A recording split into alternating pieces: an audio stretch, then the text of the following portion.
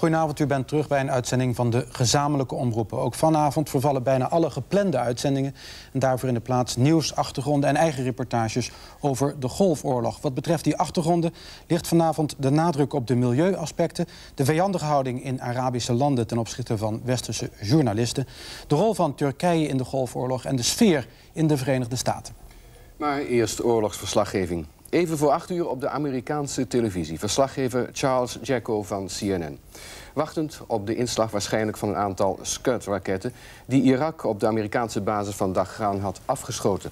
Er was een harde klap gehoord. Er was alarm voor meer inslagen. Charles Jacko voor het eerst zenuwachtig. Ja, hier in Oost-Saudi-Arabië hebben we gehoord dat er vijf Scud-raketten in de lucht zitten. Er zijn explosies rondom geweest. We zien daar patriotten die erop afgevuurd zijn. Overal in de stad zijn sirenes aan het afgaan. Er is ons gezegd dat we hier meteen weg moeten, maar er schijnt iets aan de hand zijn. Er is gezegd dat er vijf Scud-raketten binnenkomen. We weten niet of het waar is. We weten niet of de Patriot-raketten ondertussen al afgevuurd zijn. U hoort een enorm lawaai hier, hier op het bordes. We kijken even wat er aan de hand is. U heeft een live verslag meteen. Vijf schutraketten horen we zijn op ons afgestuurd. Ja, Charles. Heb je ook een schouwplaats? Ja, er is een schouwplaats. En we hebben ook gasmaskers, ja? Wat? Ja. Ja. Alles lijkt nu al in orde. Maar we hebben in de afgelopen minuten wat raketten uh, gehoord. We hebben overal ontploffingen gezien. We hebben de Patriot-raketten de lucht in zien gaan. En u kunt die luchtalarmsirenes hier horen. Hoort u maar. Ja, we weten niet hoe de situatie eruit ziet. Maar er is ons gezegd dat er een raketaanval verwacht wordt, dat ieder weg moet zo snel mogelijk in veiligheid moet zien te komen. We zien heel veel licht in de lucht. De patriotten worden afgevuurd. De petjes vliegen omhoog. We weten niet hoe lang hun vluchtduur is. We zien ze. Voor de rest hebben we niets gezien, nog gehoord. Terug naar Atlanta. Ja, maar Charles, we horen de alarmsirenes. We horen het heel duidelijk. Wat voor soort waarschuwing krijg je om een gasmasker op te zetten. Geen waarschuwingen. We krijgen helemaal geen waarschuwingen. We hebben ook niet een waarschuwing gekregen voor deze overval en aanval. We horen alleen maar de explosies van de raketten. En dat is onze waarschuwing. Ja, Charles. Charles, ben je van plan daar te blijven? Wacht je gewoon af wat er gebeuren gaat? Ja, dat hangt er wel een beetje vanaf. Ik moet eerlijk zeggen dat het onze eigen beslissing is. We kunnen blijven, we kunnen weggaan. We willen natuurlijk niet ons gevaar, leven in gevaar brengen. We willen alleen het nieuws even doorgeven. Het is een, het lijfverslag. We hebben alleen gehoord dat er binnenkomende raketten gemeld zijn... en dat er Patriot-raketten afgevuurd zijn. Charles, kun je wat meer gegevens geven? Zie je iets? Nee, het is totaal donker buiten. Het is bewolkt, geen sterren aan de lucht. Het enige wat we momenteel af en toe kunnen zien... is dat er een lichtflits van een afgevuurde Patriot uh, zichtbaar wordt. En je kunt voortdurend die alarmsirenes horen. Ja, we weten nog altijd niet wat er aan de hand is. De lichten branden nog in de stad, maar we weten niet of dat erg veel verschil uitmaakt. Ja, een, een, raket. Een raket die uh, trekt zich niet veel voor licht aan. Ik zie dat de laatste mensen die op straat waren nu ook in hun schuilkelders zijn gaan zitten, zich verscholen hebben. We hebben onze gasmaskers klaar. We staan klaar om weg te rennen naar de schuilkelders wanneer het gevaarlijk wordt. Ja, we voelen het gevaar, het hangt in de lucht. We zullen in ieder geval proberen hier zo lang mogelijk te blijven. En tot op heden zijn er daar, op die plaats, nog geen inslagen gesignaleerd. Misschien elders, maar in ieder geval daar niet. Dan gaan we naar de laatste gegevens over de oorlogshandelingen boven Iraks grondgebied. Vanavond kregen de journalisten weer nieuwe mededelingen van de Amerikaanse legerleiding. Kijkt u naar een samenvatting van deze briefing. Emphasis continues to be placed on offensive counter-air and interdiction missions. The objectives of the large-scale interdiction airstrikes continue to be the destruction of major Iraqi military complexes, the Republican Guards, airfields, air defense assets, long-range artillery and missile sites, and command and control elements. As of today, the continuous operations have raised the total count for Operation Desert Storm sorties to over 7,000. As of 6 o'clock today, our aircraft were responsible for destroying 15 Iraqi aircraft in air-to-air -air combat, of which 10 were MiG-29 Fulcrums, Four were F-1 Mirages, and we believe the 15th aircraft to be a MiG-23 Flogger. Of this total, five have been shot down today. As of today, the United States has incurred eight aircraft losses due to enemy fire. The Navy has lost one FA-18 and two A-6Es. The Marine Corps, one OV-10, and the Air Force, two F-15Es and two F-16s. Additionally, one Air Force F-4G has been lost to non-battle damage. Turning to ground forces, the United States Army and Marine Corps continue to maintain a defensive posture within Saudi Arabia. Yesterday, Marine Central Command reported that a forward unit was receiving incoming rocket fire. A-6s and A-10s were dispatched. They attacked the Iraqi positions, and the rocket fire ceased. There were no U.S. casualties. What can you tell us about your intelligence assessments of how much damage in detail is being done to the Republican Guards? Well, the Republican Guards, as you well know, is a very capable and very potent military force. They have their best soldiers there, their best equipment. And as such, it's a priority target. We have a lot of priority targets. We continue to target those assets and we strike them whenever possible. And we'll continue to strike those priority targets. How much damage do you think you've done so far? That'd be almost impossible to say. Uh, the damage assessment is always being evaluated. It's simply, it's just too early to say right now. Ask a question over here. Yes. Uh, The Saudi uh, briefer earlier said that uh, three to five uh, Frog missiles were fired across the border last night, and now you're, now you say rockets were also fired. What's going on? Is there some new are- strategy that they're trying, or what? The rockets that I referred to are the same. The Frog is a, is a free rocket over ground. Those are the Frog rockets that he was referring to. Tell what's going on. Is this some new Iraqi tactic or strategy? Oh, I don't think so. It looks like he's simply employing some of his assets. Uh, those rockets uh, impacted in Saudi Arabia. They caused no damage, uh, simply into the desert. So how do you explain that you had a relatively bad day in the air today, losing three aircraft in the last 24 hours, given what you've said repeatedly in terms of the damage you've caused to their, their air defenses? I'd say we're looking at some of the most formidable air defenses uh, ever encountered. They have terrific uh, air-to-ground or air-to-air assets, both in their anti-aircraft artillery and their SAMs. We're neutralizing those. We're disrupting the command and control to those assets. Uh, in eliminating those assets, you can't get them all, and you're going to receive some losses. But I would think, and I'd like to say that the amount of destruction and the amount of damage that we're uh, inflicting on, on Iraqi forces and Iraqi soldiers is, is tremendous. Uh, do you think it's necessary to eliminate all air defensive system of Iraq uh, in order to initiate a land war, or uh, you're just waiting uh, for Saddam uh, to surrender uh, under the heavy bombardment as an effect of heavy bombardment? There's a, a well laid out campaign plan to uh, achieve the United Nations uh, goals of getting Iraq out of Kuwait.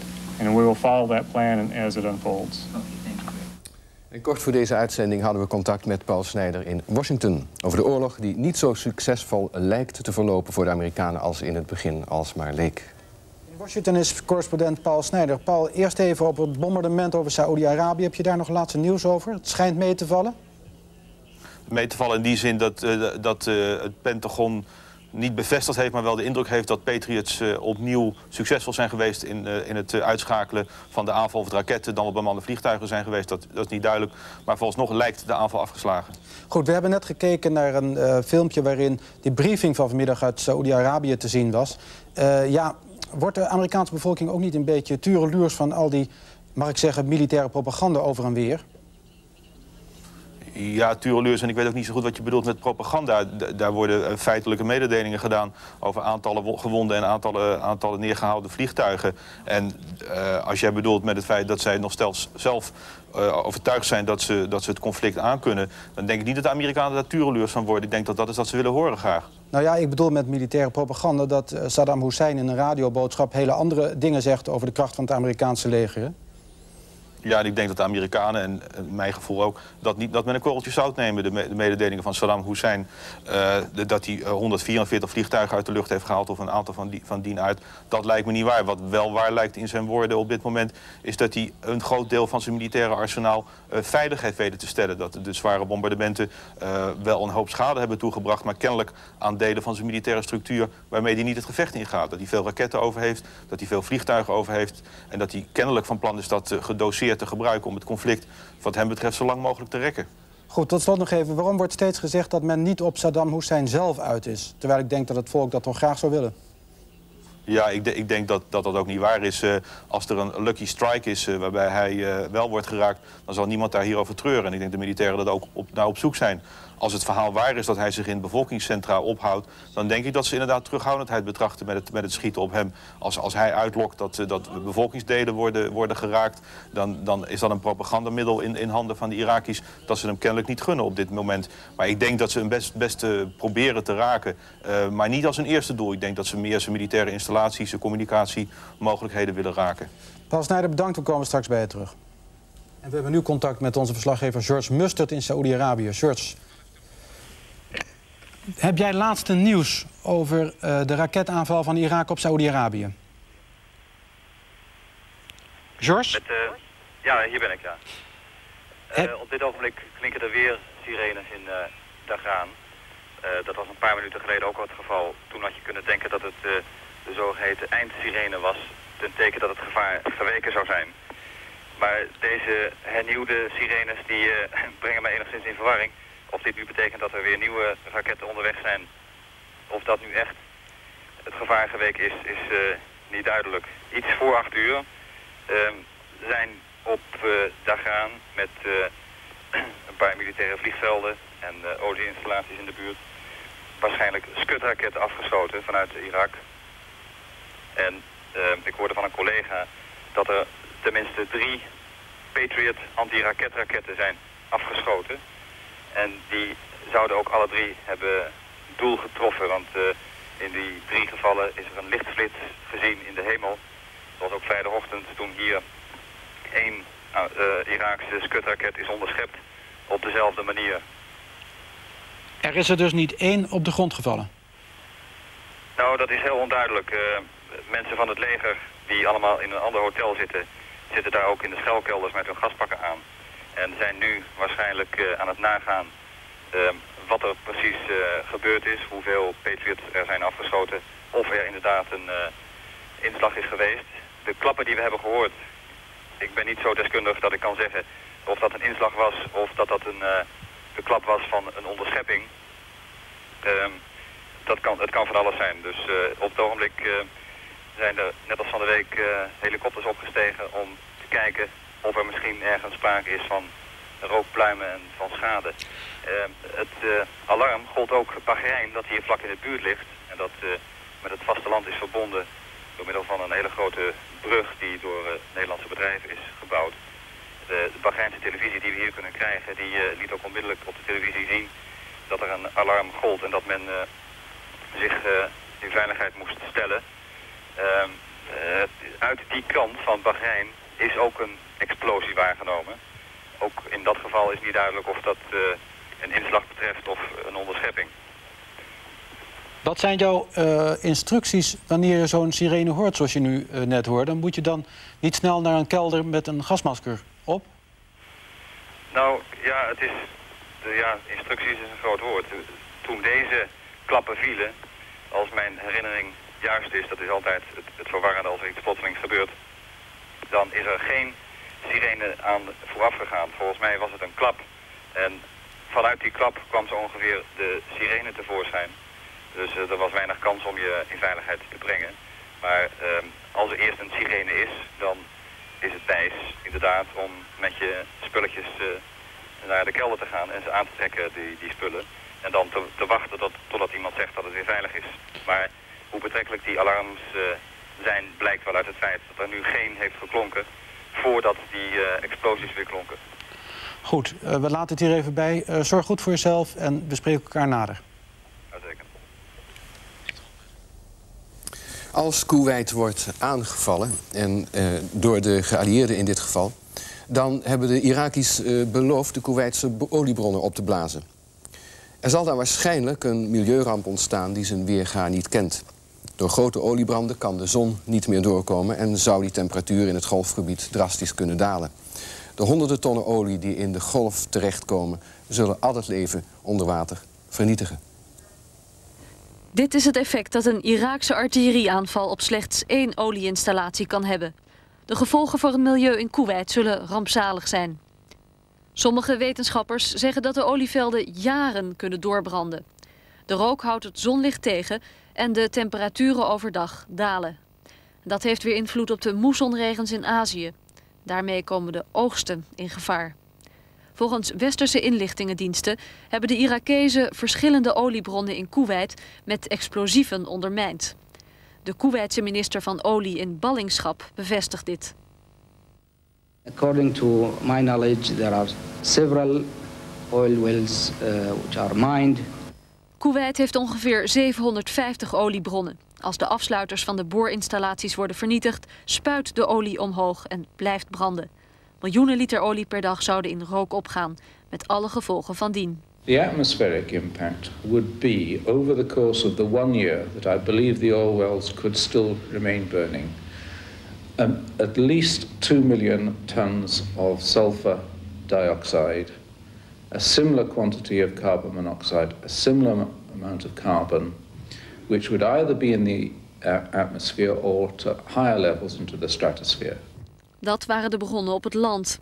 Als de olieplatforms in de Persische Golf worden vernield, komen honderden tonnen olie in het water.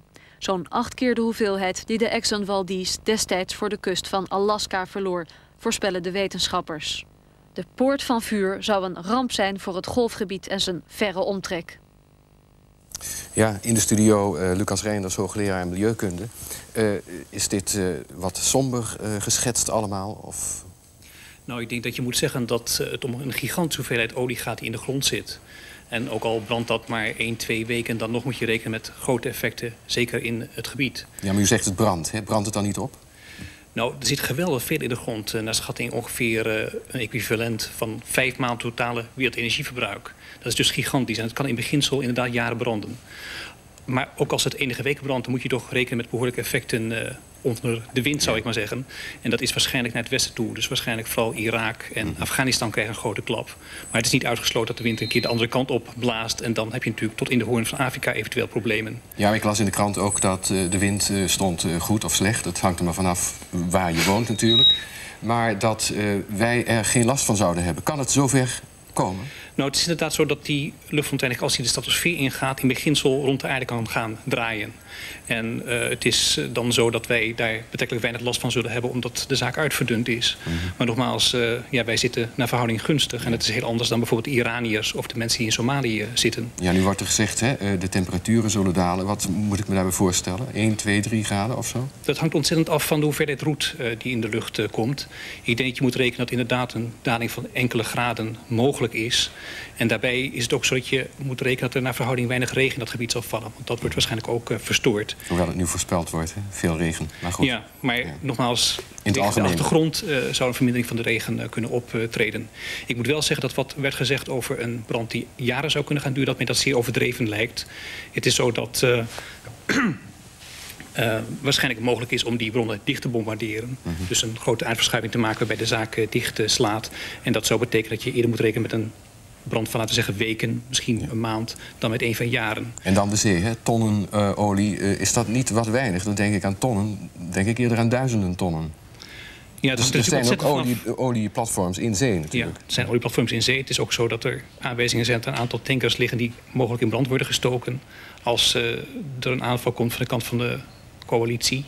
En dat kan betekenen dat een hele grote hoeveelheid, inderdaad honderden, duizenden tonnen in het water kan uh, terechtkomen. Ik moet zeggen, dat valt eigenlijk al bovenop een hele grote ramp die zich al heeft afgespeeld in dat gebied. In de Iran-Irak-oorlog is, er een enorme hoeveelheid olie in het water daar gekomen. En grote delen van dat gebied zijn eigenlijk al vergaand uh, gehavend, zo niet uh, helemaal kapot. En de schatting was dat dat, laten we zeggen, qua herstel een kwestie van vele tientallen jaren, zo niet eeuwen, zou kunnen zijn in grote gebieden. En dit betekent nog een flinke dosis erbovenop. Ja. Ziet u dat somber in? Denkt u dat het gaat gebeuren? Bent u daar bang voor? Volgt u het? Nou ja, ik denk dat er een, een kans is dat het gebeurt. Uh, het is zo dat ook recent uh, de ambassadeur in Parijs van Irak heeft gezegd... Uh, het bekende lijstje raketten op Israël mm. en ook dus die oliebronnen de lucht in. En ik denk dat inderdaad als er een terugtrekking komt in de grondoorlog... dat er een goede kans is dat men dan de verschroeide aardetechniek zal uh, toepassen. En dat er inderdaad een, een, een flinke brand uh, gedurende een aantal weken zou kunnen plaatsvinden. Ik denk niet dat het rampzalige scenario zou plaatsvinden... zoals het in het filmpje werd geschetst en overigens ook door koning Hussein naar voren is gebracht. Waarbij er inderdaad, als dat zou gaan gebeuren met wereldwijde effecten moet worden gerekend. Inderdaad, beïnvloed van een moesson. Maar mogelijk, laten we zeggen, van ongeveer een feit van het aardoppervlak... wat dan in de problemen zou kunnen komen. Ja, bedankt zover. Misschien komen we direct nog even bij u terug. De toenemende regenval in het gebied tussen Irak en Kuwait... zal ook voor de militairen steeds meer problemen gaan bezorgen. Verslaggever Ton F. van Dijk sprak daarover met kolonel Muren... die als militair attaché in het Midden-Oosten aan den lijve heeft ondervonden... wat er gebeurt als het in Irak gaat regenen. Op de vierde dag van de Golfoorlog worden de grondtroepen van de geallieerden langzaam maar zeker in stelling gebracht. Het lijkt nog een kwestie van tijd, alvorens de oorlog in de woestijn in volle hevigheid zal losbranden. Over wat voor soort woestijngebied hebben we het eigenlijk? Over woestijngebied, doorsneden door waddies.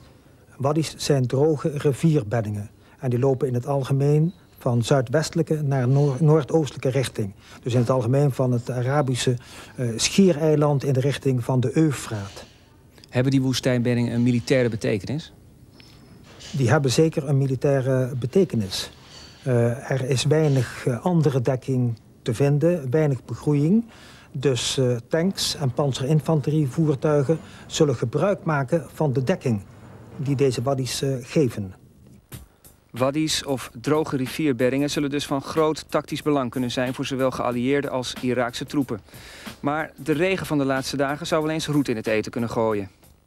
Nou, dat kan van uh, lichte hinder zijn, uh, wat modder en wat uh, stromend water, tot zware hindernis. Het kan zijn dat die waddies gewoon vollopen en overstromingen lokaal veroorzaken. Als het gaat regenen lopen de waddies of rivierbeddingen dus vol met water en stromen over. Met alle gevolgen van dien voor de troepen. Kolonel Muren maakte zo'n overstroming mee.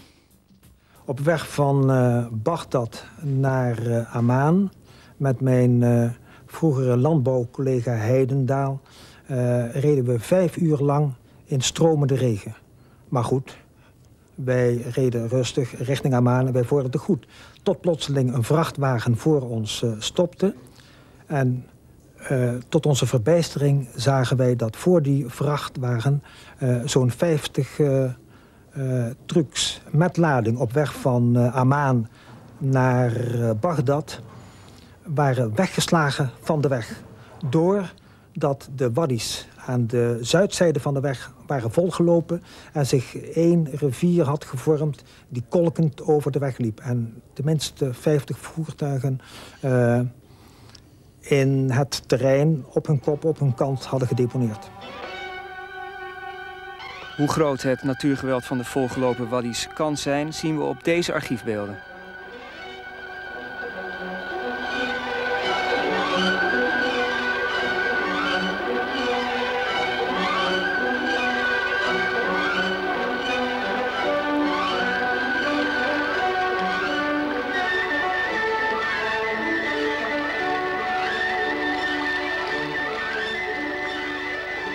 Als we nu kijken naar de, de, twee partijen, welke van de beide partijen zal het meeste voordeel bij hebben of nadeel? Dat is op het eerste gezicht niet te zeggen, maar uh, de verdedigende partij die zal er minstens in ieder geval zoveel last van hebben als de aanvallende partij, omdat zij dus ingegraven zitten en ook dat water te verwerken zullen krijgen. Ja, natuurrampen, meneer Lucas Reinders, behoren waarschijnlijk niet tot uw uh, kennisgebied. Maar uh, ik wil toch nog een vraag stellen over iets heel anders. Uh, Generaal Schwarzkopf heeft vandaag gezegd dat eh, de nucleaire installaties grotendeels verwoest zouden zijn en voor tijden onbruikbaar. Kan dat geen gevolgen hebben? Ja, ze zijn niet erg scheutig met informatie over wat er precies uh, gebeurd is. Het gaat om uh, vrij kleine reactoren voor onze begrippen vergeleken met wat we in Borstel hebben staan aan kernreactor. Um, maar het is waarschijnlijk zo dat ze daar toch een flinke hoeveelheid plutonium aan het kweken zijn geweest. Voor en dat komt vrij? Voor kernwapens. Nu, het hangt er erg sterk vanaf of die reactoren in bedrijf uh, zijn geweest op het moment dat ze gebombardeerd werden of al zijn leeggehaald. Als ze in bedrijf zouden zijn, dan is het inderdaad niet onmogelijk dat ze voor een deel leeg raken bij zo'n mhm. aanval. En dat kan op een aantal manieren gebruiken. Natuurlijk via een directe treffer, waarbij er een hoeveelheid uit uh, gebombardeerd wordt in essentie. Maar het kan ook zijn door een treffer op het uh, controlemechanisme van zo'n uh, reactor. Als dan de staven verkeerd terechtkomen. Ja. Dankzij zo'n aanval dan is het mogelijk dat er voor een deel plutonium uitkomt. Wat betekent dat voor de omgeving? Nou, ik denk dat dat vooral voor de naaste omgeving een groot gevolg zou kunnen hebben. Dat plutonium is buitengewoon giftig. En het heeft bovendien een hele lange leeftijd. Dus je moet rekenen dat als het eenmaal in die omgeving besmet is geraakt met plutonium... dat je daar vele eeuwen, misschien wel eh, millennia last van houdt. Het is ons inmiddels bekend uit Tsjernobyl natuurlijk. Ja. ja. Een ander puntje nog, die gifgasfabrieken. Uh, daar zullen ook wel bommen opgevallen zijn. Ja, men heeft gezegd dat men dat ook goed deels uh, vernietigd heeft. er is een aantal type fabrieken, met name die mosterdgasfabrieken. Als daar op een aanval wordt uitgevoerd... dan moet je rekenen toch met een flinke hoeveelheid die daaruit komt. Ook dat heeft weer vooral in de naaste omgeving effecten. En in dit geval is het, moet ik erbij zeggen, zo dat het niet een heel langdurig effect heeft. Het is een stof, als hij eruit komt, en ook de samenstelde bestanddelen daarvan, die, laten we zeggen, na een paar dagen uh, mogelijk al snel zijn uitgewerkt. Ja, en bovendien moeten er vaak twee zeer verschillende uh, gassen bij elkaar gebracht worden. Dat is juist. Als je gaat kijken naar die zenuwgassen zoals die gemaakt worden... dan zijn de samenstelde bestanddelen heel weinig giftig. Mm -hmm. Bij mosterdgas ligt dat anders. Goed. Uh, mag ik u hartelijk danken voor uw komst naar de studio. Even naar een heel ander deel van de wereld. Zojuist wordt ons gemeld dat er grote ongeregeldheden zijn in Riga, de hoofdstad van Letland. Er wordt geschoten in de straat. Het gebouw van het ministerie van Binnenlandse Zaken is bestormd door de Komon, dat zijn speciale troepen ook wel genoemd, de Zwarte Baretten. Er wordt voortdurend geschoten, maar er zijn nog geen cijfers over slachtoffers. Uh, we gaan weer terug naar de Golfoorlog. We komen later op de avond terug op de situatie in Letland. Uh, we hebben het steeds gehad over de luchtmacht vandaag... maar de strijd gaat een nieuwe fase in, zei Powell. En daarmee bedoelde hij dat de grondtroepen nu ook in actie gaan komen. En beelden van de voorbereidingen van een strijd krijgt u te zien... die waarschijnlijk meer slachtoffers gaat kosten... dan de luchtslag tot nu toe heeft gedaan. Wachten op het bevel tot actie. Dat deed de Amerikaanse 82e divisie al sinds augustus. Ze kwamen als een van de eerste in Saoedi-Arabië aan, maar gisteren konden ze zich gaan klaarmaken voor het vertrek richting Kuwait. Well, I'm glad to be on the move uh, because one, you know, this is the first step, you know, for us getting to go back home, and uh, not only that, it's it's a big step in maybe getting some world peace around in this country. It's been a very long six months. These guys have been through a lot. They've trained very hard. They've trained at the right things, and, and today They are very resolute, they're very determined, and they're very confident. They want to get on with this, whatever we've got to do. Alle beelden die hier van de troepen worden gemaakt... worden gecontroleerd door de militaire censuur. Dat geldt natuurlijk ook voor de uitspraken van de soldaten. Voor pessimisme voorafgaand aan de operatie is geen plaats. Well, our mission is to take out any tanks we can. And you're using the weapons that you're using to do that. How effective are they? Very effective. Ready. Dit zijn tanks van de Amerikaanse Tijgerbrigade. Ze hebben de afgelopen dagen ruim 200 kilometer afgelegd om in de buurt van de Koeweitse grens te komen. Daar graven ze zich nu in. I think the Air Force can't do it all by themselves. They've been doing a good job, but the ground forces they got to go in because I feel that uh, the only person to get another person out of the foxhole is the infantryman. But the enemy still be dug in to the point where the Air Force can't get out of them all, and that's where we're, we're going to come in. When we go, I don't know. Er komt zojuist een bericht uit Jordanië dat een onbekend vliegtuig, althans onbekend voor de Jordanië, in de buurt van de Iraakse grens door Irak is neergeschoten.